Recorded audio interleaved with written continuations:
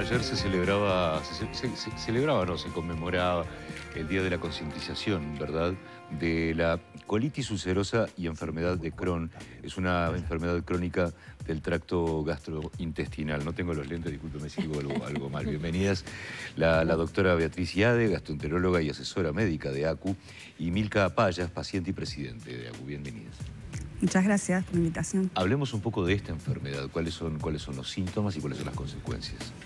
Lo- los síntomas pueden ser muy variables porque hablar de una enfermedad, enfermedad inflamatoria intestinal, colitis ulcerosa o Crohn, en realidad es muy amplio, ¿verdad? Porque dentro de las colitis ulcerosas hay diferentes este, localizaciones y grados de severidad y dentro de la enfermedad de Crohn es mayor, es más heterogénea y por lo tanto puede haber personas que tengan una enfermedad localizada mínima o personas que tengan una enfermedad de Crohn donde hay varios segmentos del intestino afectados y que tengan mayor severidad. Por lo tanto, siempre es bueno saber que cada paciente sepa cuál es su enfermedad de Crohn, ¿verdad? ¿Qué localización tiene? ¿Con qué se está medicando? ¿Si ha tenido o no cirugías? Porque cada paciente es diferente y cada enfermedad es propia. ¿Esta es una Claro. enfermedad que, que adquirimos o que nacemos con ella? Es una muy buena pregunta. Es una enfermedad que está mediada por la inmunidad. ¿verdad? Se, se produce porque hay una desregulación del sistema inmune. El sistema inmune es lo que nos defiende de las infecciones, por ejemplo, ¿verdad? Pero en este caso hay una alteración y nos ataca, ¿verdad? Y nos va a producir lesiones. Que eso es una cosa muy importante, porque cuando uno habla de enfermedad inflamatoria, mucha gente piensa que "Ah, estoy inflamado, estoy hinchado, estoy distendido. Eso no es lo que nosotros llamamos enfermedad inflamatoria. Nosotros estamos hablando de enfermedades que producen úlceras, que producen lesiones, que se ven el, el tracto exactamente, se objetivan en estudios. Claro. ¿Y en qué momento te empezás a dar cuenta que padeces esta enfermedad? Porque me imagino que uno eh, empieza a sentir algo diferente y quizás se puede confundir con otras cosas, ¿no? Tal cual. Hay dos cosas importantes de estas enfermedades y una es que empiezan temprano.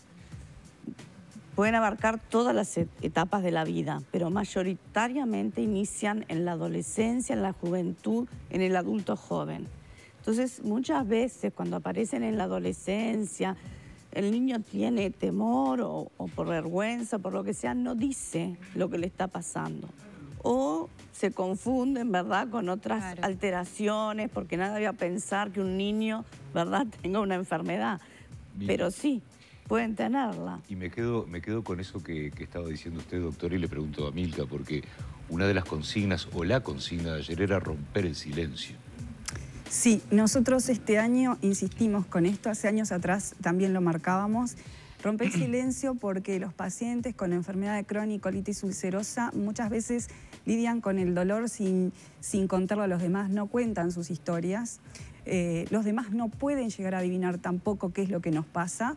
Entonces este momento en en el año, que, que va más allá del Día Mundial, que es el 19 de mayo, eh, eh, tratamos de, de abarcar todo el mes de mayo para que la población conozca y, y logremos concientizar sobre la enfermedad, eh, para que en los ámbitos laborales, este, de educación o en las propias familias este, sepan que existe esto, que, que puede ser eh, guardado Hemos conocido casos donde hasta lo guardaban de su propia familia, mintiendo a, a los más allegados. Pero no- no, es es lo que yo no termino de entender. ¿Por qué, ¿Por qué se da esto? Claro, porque los síntomas son avergonzantes, en cierta manera, porque esto cursa con diarrea, Ajá. a veces con incontinencia, con urgencia. Es una persona que va al baño 20 veces, la gente le empieza a preguntar en la escuela, ¿por qué vas al baño a cada Ah, rato? claro, sí. Entonces, eh, Claro. a veces cuesta un poquito decir eso. Muchas veces tienen en- enfermedad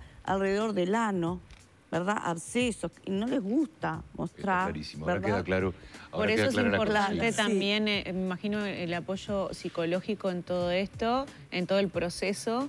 Y bueno, imagino que los pacientes cada uno debe tener su historia, quizás vos tengas la tuya y no sé cómo, cómo lo pasaste, cómo has vivido todos estos años, porque tampoco tiene cura, ¿no? Es algo irreversible. es crónico. es crónico. Es crónico. Bueno, lo que les puedo contar como paciente que he pasado de, tener eh, dos tipos de diagnósticos, porque a veces se, manifiesta diferente, ¿no? De, tener, eh, de comenzar con una colitis ulcerosa a, a Crohn, a enfermedad de Crohn. Yo puedo decirles, eh, bueno, que cada paciente es diferente, ¿no? Yo empecé con diarrea que no se iba, no se iba, no se iba, y alguna muestrita de sangre. Tuve este, la suerte, pero a no todos les pasa, que casi enseguida me mandaron una fibrocolonoscopía.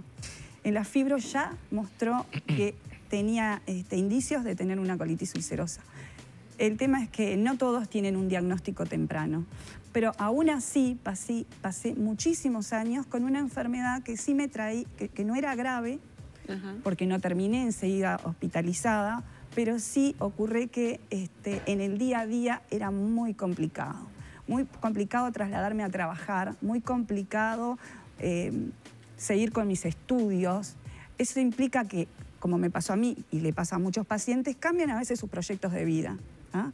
Personas que eh, podían llegar a hacer alguna cosa, eso los tranca.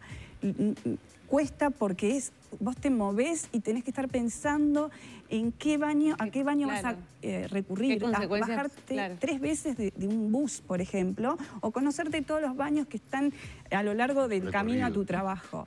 Este, y no es tan sencillo tampoco entrar a los baños. No, por eso, porque también hay, un tema, de higiene que, mínima que tendría que... No, pero también está por la respuesta de los comercios. Claro, porque no sos cliente.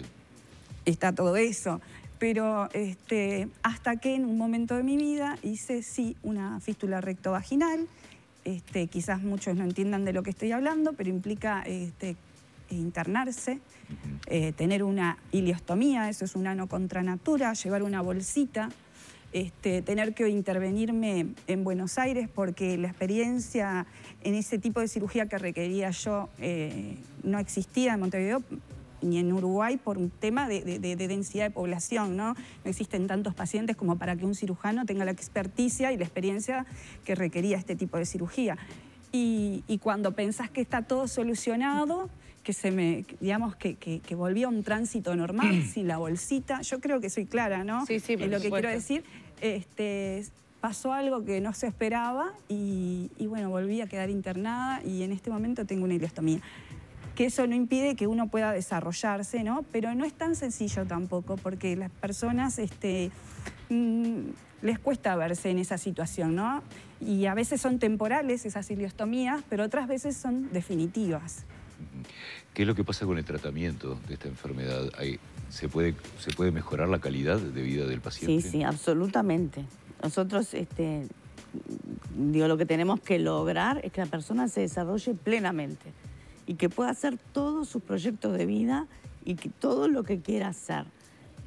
Tener una enfermedad, ustedes la ven acá, perfecta, ¿verdad? Nadie dice lo que ha pasado. Y eso es lo que nosotros queremos hacer. Y eso es lo que se puede hacer y lo que queremos transmitir en esto de romper el silencio. ¿Verdad? Que, que cuanto más uno hable de estos y, y más se expresen y más nos vean, el que esté pasando por una situación así sepa que tiene que lograr tener una vida normal. Complicada, sí, puede ser, con momentos de internación, con momentos en que hay que dejar de estudiar, sí, pero pueden viajar, pueden hacer sus másteres y sus pasantías en el exterior, se tratan y se controla. Ese, ese, es como un poco el mensaje. ¿Y el, ¿Y el trabajo que hacen ustedes en ACU? Cuenten un poco, porque quizás hay un montón de gente que quiere comunicarse con ustedes y eso está bueno. Este, ¿Qué tipo de trabajos hacen con los pacientes? Nosotros fundamos la asociación hace 24 años cuando todavía la enfermedad inflamatoria era muy poco conocida, porque esto es una enfermedad que está creciendo en el país. En aquel momento era pocos casos. Y, es fundamental tener, por un lado, conocer a otro que tenga lo mismo, ¿verdad? Conocer a otro con quien compartir la mina, la vivencia, aunque no sea igual, pero parecida. Y lo otro importante es la información, estar informado. Cuando uno no desconoce lo que tiene, no sabe cómo hablarlo, no sabe cómo transmitirlo, los tratamientos no van a ser tan efectivos. Pueden aparecer y, esto que me están dando, ¿qué será? ¿no? Desconocimientos. Poder conocer y poder hablar con el médico con mejor información mejora los tratamientos. Eh, a mí se me ocurre otra pregunta, porque esta, esta enfermedad, como tú la describís, es una enfermedad que te trae problemas de relacionamiento también, relacionamiento social, me imagino. ¿Qué es lo que pasa con la dieta de uno? Eh, porque están los volveremos a los cumpleaños, ¿no? Volveremos al casamiento, calculo. ¿Qué es lo que pasa con la dieta del paciente?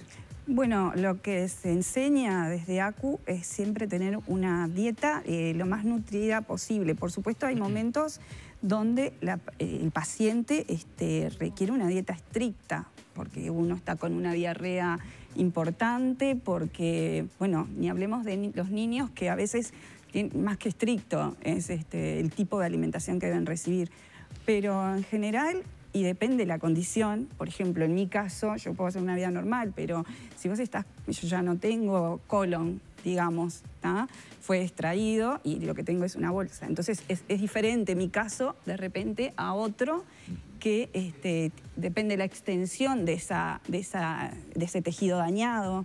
Este, pero se trata de que este, muchos se quedan con el arroz y el churrasquito, ¿no? O la zanahoria y el, y no comen más nada y en realidad lo que está haciendo es más perjudicial que... Hay muchos mitos con respecto a la dieta y, es bueno decirlo que, que, esta no es una enfermedad en, que el tratamiento pase por la dieta. La dieta es una necesidad en algunos momentos de la enfermedad en determinadas circunstancias, pero no se cura con dieta. Eso, es importante. Porque... Lo que pasa, lo que pasa es que lo, perdón, es lo primero que tendemos a hacer, ¿no? El, ah, el, té, negro y, este, y el arroz. Y el arrocito. Y si estoy enferma es porque comí algo que me hizo mal. Claro. Exacto. Eh, por eso me parece muy importante eh, contarle a la audiencia cómo podemos hacer para acercarnos a la asociación. Bueno, bueno nosotros, a nosotros nos buscan Google, ACCU, y van a aparecer nuestros a veces hay otras siglas que, justo compartimos con otras organizaciones, pero es ACC Uruguay y nos encuentran en Instagram, en Instagram, en Facebook, bueno, en nuestra página.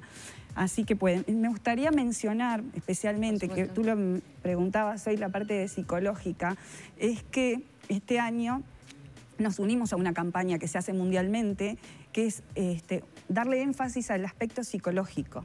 Por eso hablamos mucho de cómo nos sentimos y, este, y, tratamos de que el paciente rompa ese silencio. ¿Para qué? Para que nos escuchen, para que las autoridades, tanto públicas como del ámbito privado, puedan integrar en sus instituciones unidades de este, enfermedad inflamatoria, como las hay de otras enfermedades.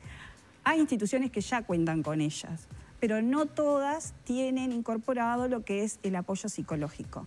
¿ah? Y tener este tipo de enfermedad que es compleja, controlada en realidad este, beneficia no solo al paciente y a la familia, sino que va a beneficiar en, sí a, estas instituciones, porque harían una eficiente eh, distribución de sus recursos, ¿no? porque eh, los especialistas que tienen especial énfasis en, e, interés en la enfermedad inflamatoria pueden este, tratar al paciente en forma integral, ¿no?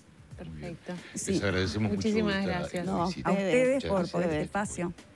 Seguimos adelante con Petro y con Humberto.